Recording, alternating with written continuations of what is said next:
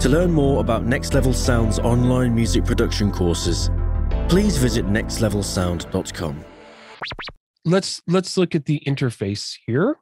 In Soothe 2, we'll just go from left to right, top to bottom kind of thing. You have two modes. You have soft mode and hard mode. It defaults to soft mode.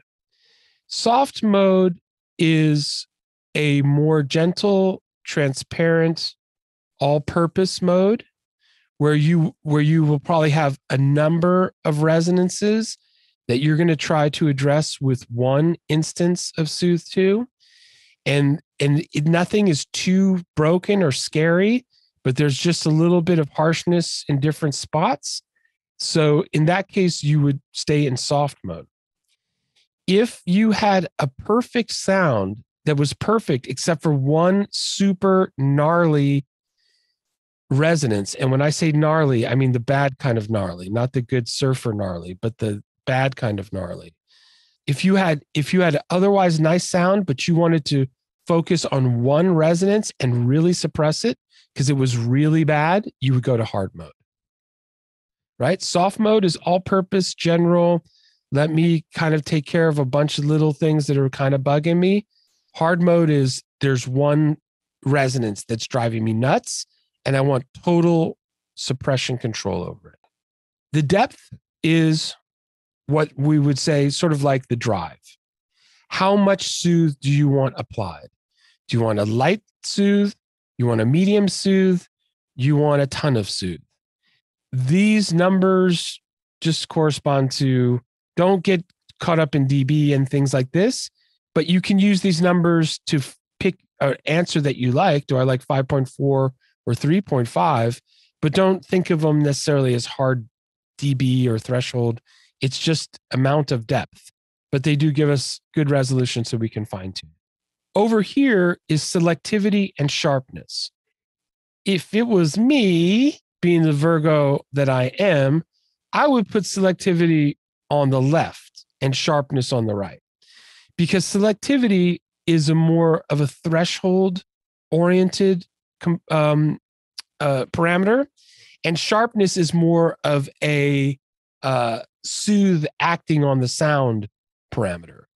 So selectivity is is sort of how much you're acting what what soothe is going to be looking for that's how you put it so with a light selectivity you're saying kind of watch all of the pokey resonances across the frequency spectrum. And for a high selectivity, you're saying, I only want Soothe to react to the super strong resonances, leave the other ones alone. Could you see a high selectivity working well with a hard setting? If you were really going after the, the really bad offenders. So those these two are friends. A high selectivity and and a hard soothe. And if you wanted to just sort of lightly even out a sort of uneven sound that had holes in it and was lumpy, you would go for a light selectivity. And if you were going for uh, more harshness and trying to tame more sort of harsh things, you might go for a higher selectivity. And it's graphically reflected, which is really cool. Sharpness is how Soothe is going to act on the signal. So a strong sharpness is going to create skinny resonances to get spiky, skinny things that are poking at us. And a, a rounder, it's just like a cue, exactly. And a, and a lighter sharpness is a more general thing saying, hey, that whole area kind of needs some resonance suppression. But if you pump up the sharpness, you're saying that skinny little thing needs resonance suppression. If you push extreme sharpness, you can get some weird artifacts. Anyone hear that yet? You will. Don't worry. We'll do it. So, so, you know, it's just like sharp, sharp cues on EQs once we get really skinny with some of these things, everything sounds weird and bad. like you're not making it better sometimes. So, you know, you got to find the sweet spot there. Okay. There's a left right mode and there's a mid side mode for mastering coming up this summer. Let's say you just have resonances in the middle and you want to leave your sides. I know you want to leave your sides all unsoothed. Um, you can do that. So we'll do that. And then there's a linking and unlinking of the channels. Let's say you had a, a stereo miking with an oboe on the left and a French horn on the right. These things don't really agree. Their resonances are not going to at all agree. So if you had a stereo mic with an oboe on the left and a French horn on the right, and the resonances were all over the place, what would you you would go left right mode? What would you do with the link? Link them or unlink them? Unlink them. Right. Right. Or, uh, maybe not zero because maybe they're blended by the stereo miking, but you would start to let the left side of Soothe be its own person and the right part, right part be its own person, and that they don't have to agree so they can address, you know, whatever is needs to happen on those channels. So there's your linking. You can also say soothe the left and leave the right alone, or vice versa, or keep the balance. And I bet you can option click this and reset it. Okay. Let's keep going. Here is the attack, right? This is okay, Soothe saw a resonance. How long does it take Soothe to achieve maximum suppression? So, so fast is all the way fast. It defaults to like one or something. And then it can go slow. Forget about what these numbers are. They're not milliseconds, they're just numbers so that you can fine tune on the right answer. They're program dependent um, very much like the attack and release in Pro MB. It's not milliseconds, it's just numbers to help you keep track of what you like. So here's a fast attack and a fast release. If you're soothing drums, and if anyone's played around with Soothe yet, and and was like, oh, I don't know if I like this on some drums, and there are some weird resonances, but you find that Soothe is too grabby and is clamping down on your kick and snare attack, taking the transient out in a way that sounds weird, what do you do with the attack? You slow it down. Yes. Anyone, as soon as you do this, you're like, oh, I love Soothe again. I was mad at you for no reason, but you're fine because it's going to let that transient come through. Is it still going to address the resonance? but right after the transient. So you're going to get the best of both worlds. You're going to get the snap of your transient and some judicious, healthy resonance suppression. The release is the amount of time it takes for the sound to recover once it's been suppressed and the threshold is no longer triggered. Fast release is good but let's say you had, I don't know, I'm stuck on an orchestra thing today, but let's say you had strings that were swelling slowly and with resonances. If you wanted it to be more transparent and less breathy, what would you do with the release? Slow it down. Slow releases always have a smoothing factor, right? In dynamics tools.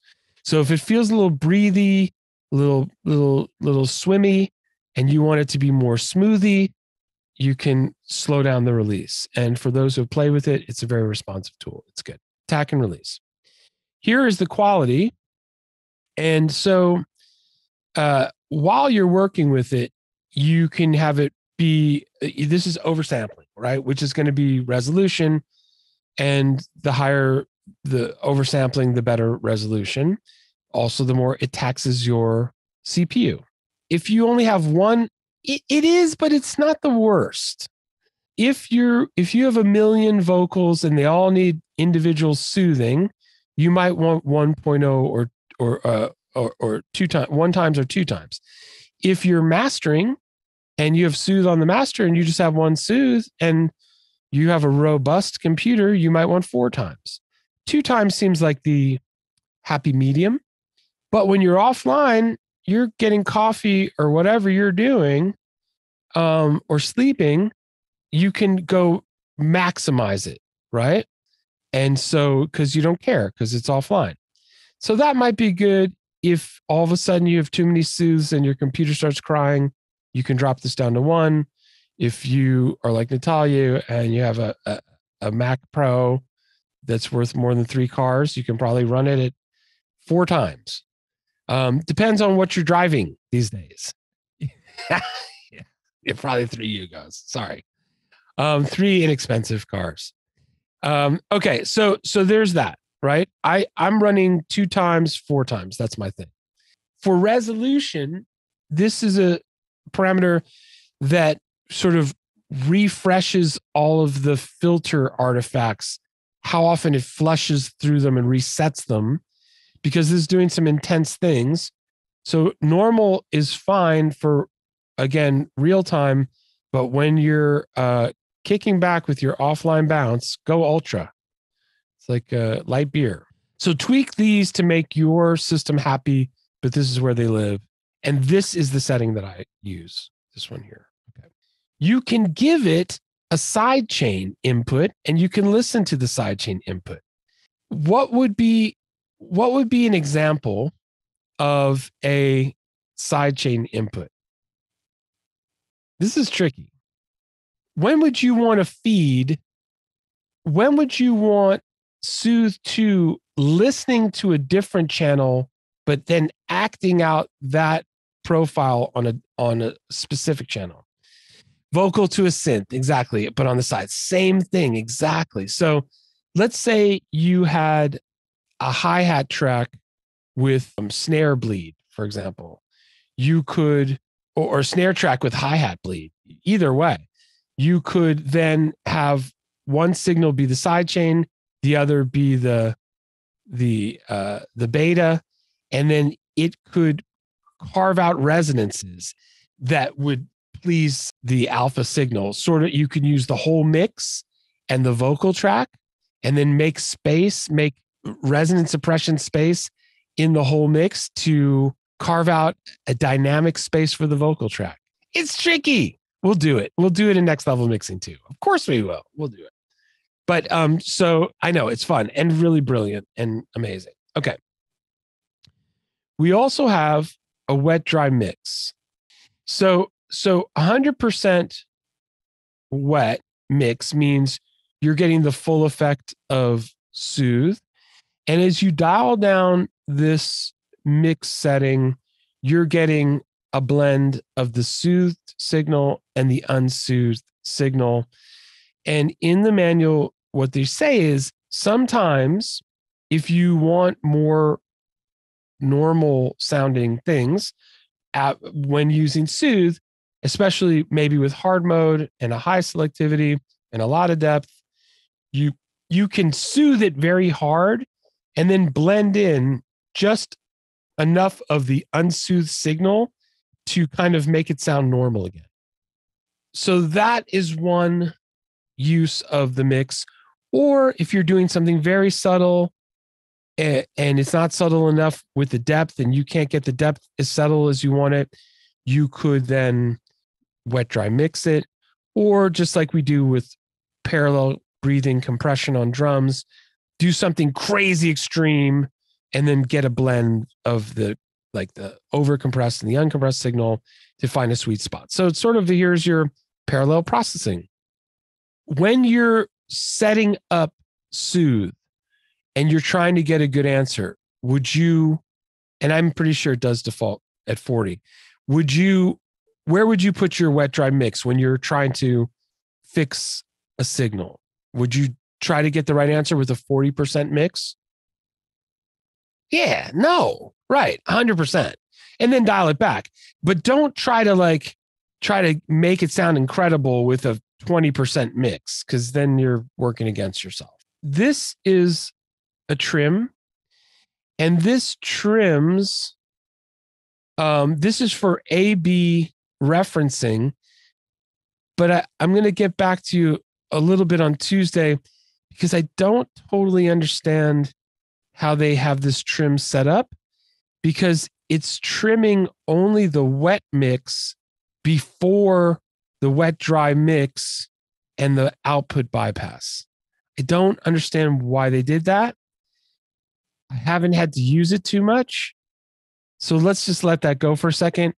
Um, it's sort of when it, the idea is so that you can boost or or I guess you can only boost, you can't cut unless trimming is negative.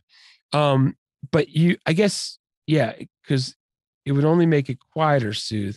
So you can turn stuff up so that when you go in and out of bypass, you don't freak out about the bypass level and you can compare similar loudnesses without you know doing it it, it doesn't have a smart bypass so you do it by hand. But the way that they do the routing was confusing to me so i have to mess with that over the weekend. Anyway leave the trim alone for now. Bypass it and you better be able to hear it or whatever. No you can play with it. It's it seems like it throws off the wet dry mix that you set the thing to. I'm not sure. Anyway. Okay. We'll get back to that so okay what is the delta? Good question. The delta is like listening it's listening to the affected signal in soothe so you can solo out exactly what soothe is what part of the signal soothe is affecting. And it's very very helpful. We have a delta when we when we do we have lots of deltas in our world. If we go to k clip and we'll be clipping next here's a little delta hiding right here. And we use it to set the clipper really nice. If we go to pro c2 delta is this little headphones here. There's deltas everywhere. Deltas just solo out the portion of the signal that's being affected and they're very helpful to attuning your ears to what soothe is doing so soothe has a master delta. And then any different point of soothe has its own private delta. Double delta. Multiple delta. Right? Pretty cool.